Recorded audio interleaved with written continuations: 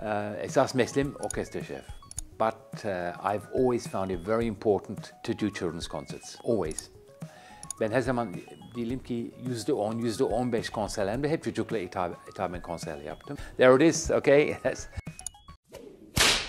If I hadn't have been a conductor, I probably would have been an archaeologist. That it always interests me. The past has always interested me. And um, biz bazen unutuyoruz. Mozart'ın zamanında 60 bin senfoni yazılmıştı. More people today are making music than ever before. More people are listening to music than ever before. Ee, şimdi şey alalım, Türkiye alalım mesela. Ben 1975 senesi Türkiye'ye geldim. Klasik müzik dinleyenler var. It's, it's really changed. The situation has changed tremendously. We don't call it stealing, we call it borrowing.